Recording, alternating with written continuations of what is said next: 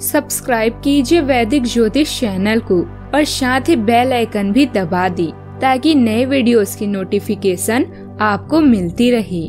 जय संतोषी माँ। दोस्तों, स्वागत है आपका वैदिक ज्योतिष में। जानते हैं आज क्या कहती है आपकी राशियाँ। कैसा रहेगा आपका दिन? शुरुआत करते हैं आज के सुविचार से। सूरत कितनी भी अच्छी क्यों ना हो, अगर सीरत ही खराब हो तो। चार दिन बाद सूरत भी खराब लगने लगती है और सूरत कितनी भी खराब हो, अगर सीरत अच्छी है तो चार दिन बाद वही सूरत दुनिया का सबसे खूबसूरत चेहरा बन जाता है। इसीलिए सूरत नहीं, सीरत सवारी। अच्छा वक्त उसी का होता है, जो किसी का बुरा नहीं सोचते। भगवान कहते हैं, मत सोच कि तेरा सपना पूरा क्यों नहीं होता। हिम्मत वालों का इरादा कभी अधूरा नहीं होता। जिस इंसान के कर्म अच्छे होते हैं, उसके जीवन में कभी अंधेरा नहीं होता। कैसे हो पाएगी सही इंसान की पहचान? दोनों ही नकली हो चुके, आँसू और मुस्कान। आज का पंचांग 25 फरवरी 2023 दिन शनिवार। फागुन मास के शुक्ल पक्ष की षष्टी तिथि। रात्रि बारह बजकर बीस मिनट तक रहेगी। इसके उपरांत सप्तमी तिथि प्रारंभ हो जाएगी। भरणी नामक नक्षत्र रात्रि तीन बजकर उनसठ मिनट तक रहेगी। इसके उपरांत कृतिका नामक नक्षत्र प्रारंभ हो जाएगी।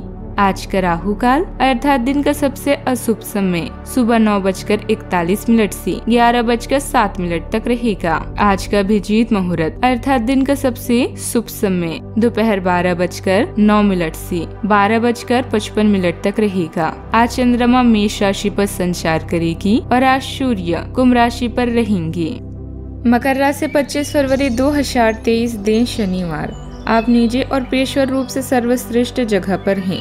अपनी ताकत और सीमाओं के बारे में जाने। अपने आत्ममूल्य के आधार के साथ अपने रचनात्मक पक्ष को भी व्यक्त करें। कोई नया अवसर आपकी प्रतीक्षा कर रहा है, इसका साहस पूर्वक पीछा करें। जीवन का यह समय आपको काम और परिवार के साथ साथ आत्मविश्वास और विश्वास की कमी में करना सिखाएगा। घरेलू मुद्दों और व्यवसाय संबंधित आमदनी के बारे में विचार करेंगे। अपने आप को शांत रखें और गुस्से पर नियंत्रण रखें। जो मंजिलों को पाने की चाहत रखते हैं, वो समुन्दरों पर भी पत्थरों के पुल बना देते हैं। परिवार से संबंधित कुछ योजनाएँ बनेगी और उन्हें कार्यान्वित भी आसानी से कर लेंगे। आज दिन का अधिकतर समय आध्यात्मिक धार्मिक गतिविधियों में व्यतीत होगा। आपके व्यक्तित्व में भी सकारात्मक बदलाव आएगा। ज़्यादा कामों पर फोकस करने की कोशिश में एक काम भी पूरा नहीं होगा। समय आपके पक्ष में, इसीलिए सही गलत बातों को ठीक से समझते हुए काम करें। नियमों से संबंधित जो समस्याएँ हैं, वह दूर होने लगेगी। परिवार के लोगों का साथ प्राप्त करना चाहते हैं तो वह आपको आसानी से मिल सकता है। विदेश से जुड़े काम आगे बढ़ने के लिए सही लोगों का साथ प्राप्त होगा। रिलेशनशिप संबंधित दिक्कत दूर करने का प्रयत्न दोनों पक्षों के द्वारा किया जा सकता है।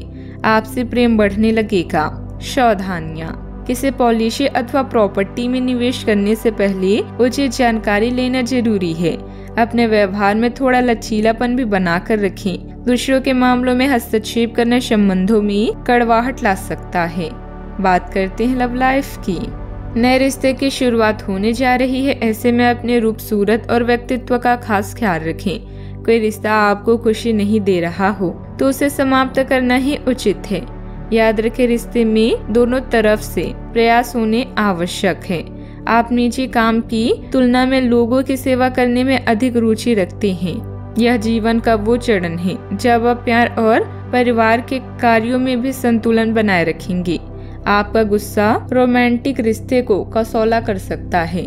लेकिन शांत रखें, लेकिन शांत रहें, क्योंकि आपके चार्म से आपका साथी ज़्यादा देर दूर नहीं रह पाएगा। बात करते हैं करियर की। अगर आप कार्यस्थल की मुश्किलों से परेशान होकर स्वरोजगार के बारे में सोच रहे हैं तो अब समय आ गया है इसकी शुरुआत करने का। आपकी मेहनत और ईमानदारी का बढ़िया परिणाम भी आपको मिलने वाला है। खुशी के पल में अहंकार का त्याग करके आगे बढ़ें। सबके आकर्षण का केंद्र आज आप ही हैं। कार्यस्थल पर आपके प्रदर्शन के कारण आपको सम्मान और प्रशंसा मिलेगी आपके व्यक्तित्व की कुछ विशेष खूबी सहकर्मियों और अधिकारियों को आपका प्रशंसक बना देगी भाग्य आपके साथ है लेकिन लेकिन कड़ी मेहनत करना ना भूलें बात करते हैं सेहत की कब्ज और गैस की परेशानी रहेगी, जिसकी वजह से आपकी कार्य क्षमता भी प्रभावित होगी। महिलाओं को अपनी सेहत का ख्याल रखना होगा। आज का उपाय, आज अब शनि भगवान जी को तिल का तेल चढ़ाएँ, शुभ रहेगा। दोस्तों, वीडियो को लाइक शेयर करना ना भूलिएगा। मिलते हैं अगली वीडियो में। जीवन में हमेशा सकारात्मक सोच के साथ आगे बढ़ते रहें। आपका दिन शुभ हो।